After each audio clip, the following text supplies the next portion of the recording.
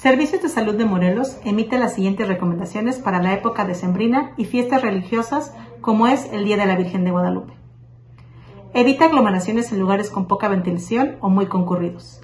Respete el aforo permitido acorde al espacio disponible dentro del lugar que se visita. Use el cubrebocas en todo momento. Mantenga una sana distancia entre personas.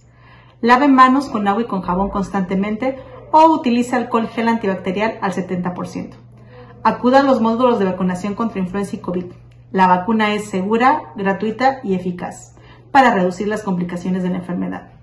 Protéjase adecuadamente durante las mañanas y noches cuando bajan las temperaturas. En caso de padecer sintomatología como malestar general, dolor de cabeza, fiebre, dolor muscular, dolor articular, diarrea, vómito o dificultad para respirar, no se automedique y acuda a su centro de salud más cercano o ingrese a saludparatodos.ssm.gov.mx.